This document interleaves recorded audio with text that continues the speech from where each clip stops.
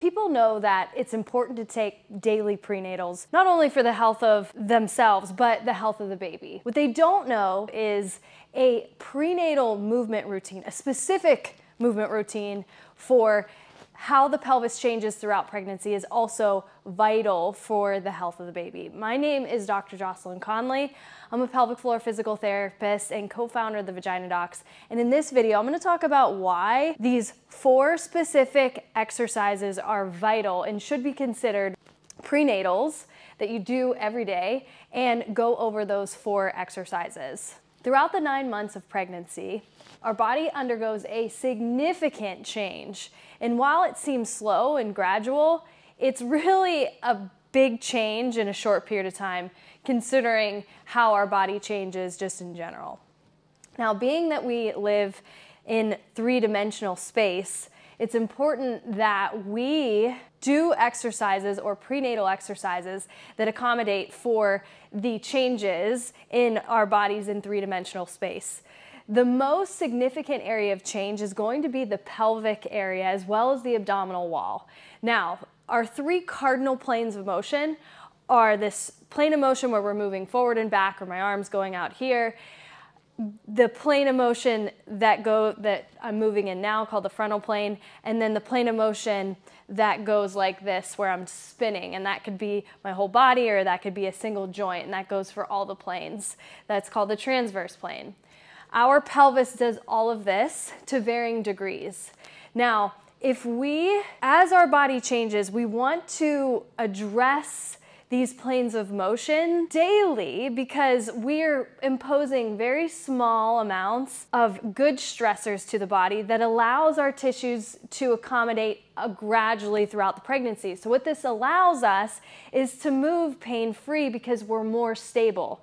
If we just do, do things like go for walks, maybe it's yoga, I mean, that's good. Movement is so important and any movement is better than none. But if we add these specific exercises for these planes, we are going to be just a lot more capable of moving without too much excessive movement in our pelvic region and our spine. So that tells our brain that we're safe and we don't tense up. How this translates to the health of the baby is if mom is super stressed because she's in pain, then that's going to translate to the developing baby. There is growing bodies of knowledge that higher stress during gestation translates to how the baby develops. So it's really important that we keep stressors low or negative stressors such as pain that limits your ability to move and do the things that you love, pain or, or, instability that limits your activity, therefore you're not as strong, therefore the labor is more intense and the delivery can be more traumatic. Now that you know the why, let's dive into the four exercise variations that are going to be essential for you to do daily throughout your pregnancy so that you're exposing your body and training your body gradually and that you can remain stable, pain-free, and then you're ready to go during your delivery. If you find that this content is useful, we post all things about pelvic health. So please subscribe and then like this video as well and share it with people you know could benefit. Before I dive into the exercises, keep in mind that these exercises are just one version of the type of exercise or the target area that we want to work. But it can be modified for different positions and then just subtle variations, but it's important we just train these basic groups. First group of muscles are going to be the adductors. These muscles allow for stability in the front side of the pelvis, super important for walking, super important for getting in and out of the car and rolling. If these muscles aren't strong, your abdominals are gonna have to overcompensate. And if the abdominals are uh, stretching throughout the pregnancy, it's going to be harder. So you may experience pain in the pubic region or your back or tailbone.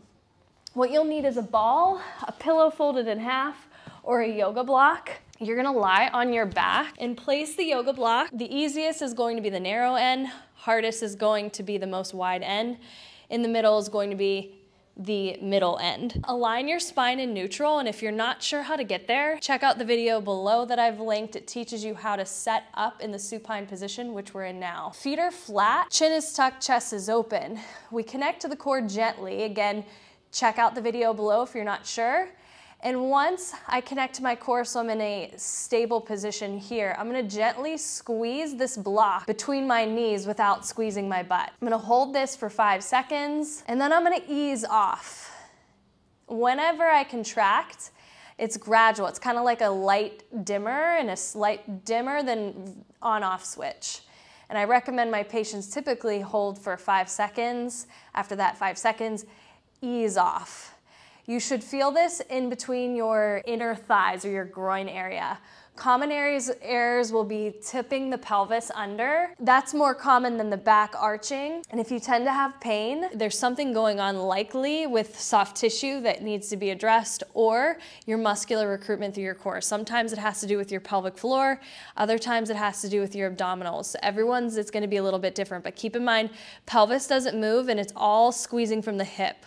I call this adductor isometric or adductor squeeze. You could take this to the next step if this feels comfortable for you and make this into a bridge. So feet are flat and you're gonna squeeze the block as you lift your hips up. And then at the top, that's when you squeeze your glutes. And then you're gonna gradually let go of your glutes. You're gonna hold the squeeze and ease the squeeze until you reach back to the starting position. Those are your adductor variations. There's other exercises that you can incorporate so that you're not doing the same thing every time, but those are two examples. Second exercise is the glute bridge. The glute bridge is different than what I just did, I showed you, which was the adductor bridge. The glute bridge targets the gluteal muscles, which support the back of the pelvis. In addition, they are key hip extensors. Same setup, align your spine in neutral, and then feet, your shin should be perpendicular with the floor when you hit the top of the motion. You're going to squeeze your glutes to initiate the motion as your hips lift up. Hold this position for about three to five seconds, and then gradually let it go. Let the glute squeeze go until you reach the starting position. Again, you're going to squeeze your glutes to initiate, carry the squeeze up to the top, hold for five seconds, and then gradually let go. This is different than the adductor. The adductor squeeze or the glute squeeze doesn't come till the top. This starts the motion. Where you should feel this is your glutes. Try to keep your legs as relaxed as you can so you don't feel too much of your quads working. If you feel your hamstrings kicking in, that tells me that your hamstrings are too active here or maybe you're too your your feet are too far away from you. So make that adjustment as needed. The third exercise is going to be a hip external rotation based exercise.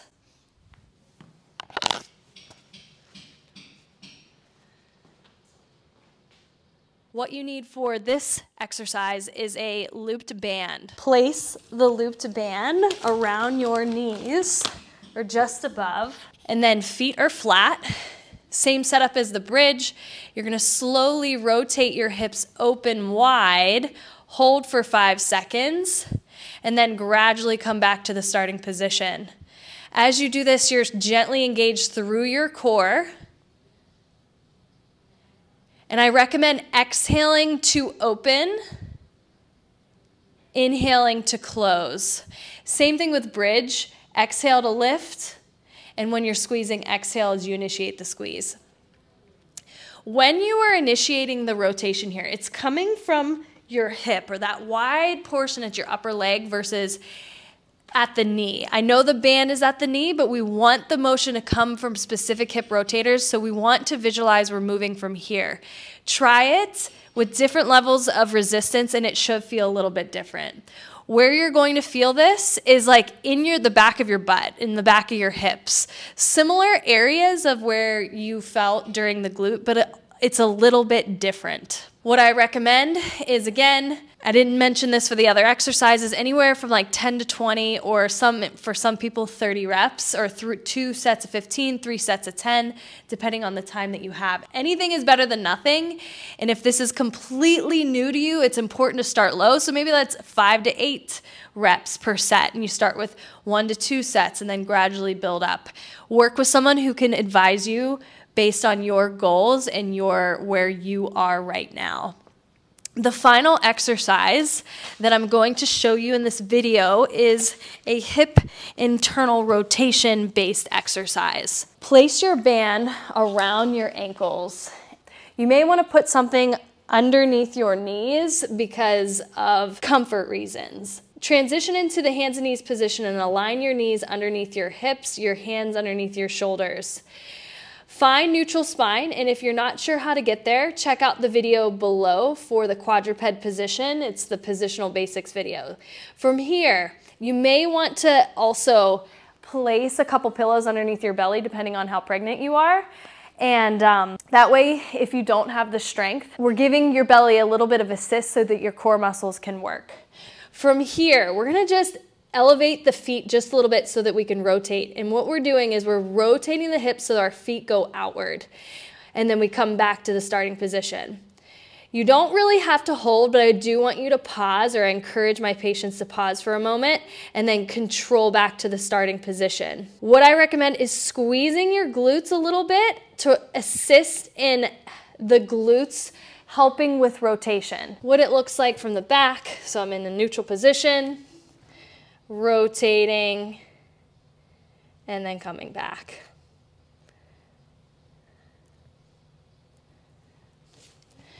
I didn't mention this with the hip external rotation, but you also can squeeze your glutes to, to facilitate those deep gluteals in recruiting as your legs open. Feel this deep in your butt. You also may feel this in your hip flexors, especially now if you're pregnant.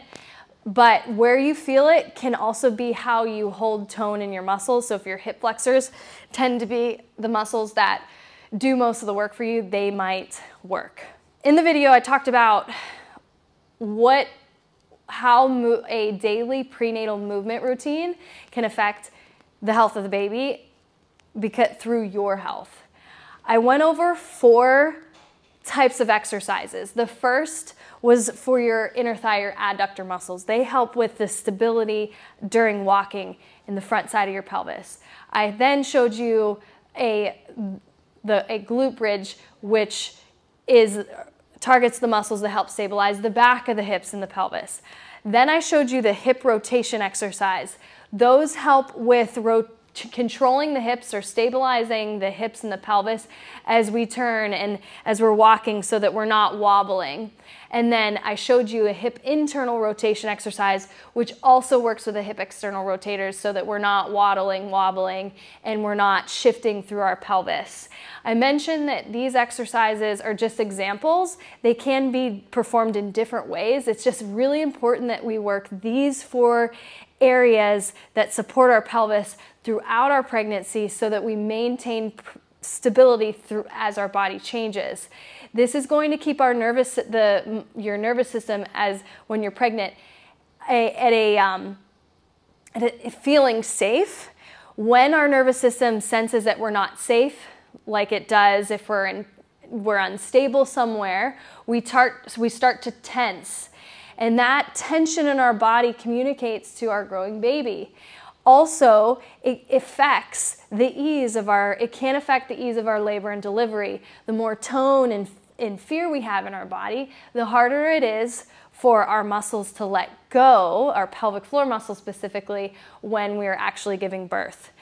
A few key resources that, that, resources to check out in the description would be how to, to set yourself up in some of these positions that I showed you, specifically supine, I'm gonna put the positional basics of that position of hands and knees, and then also how to engage your core in those positions.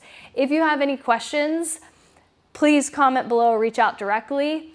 Other, a few helpful free resources that we have in the description are a, our pregnancy mini course, which goes in a lot more depth about this than I did in this video, as well as our postpartum healing guide.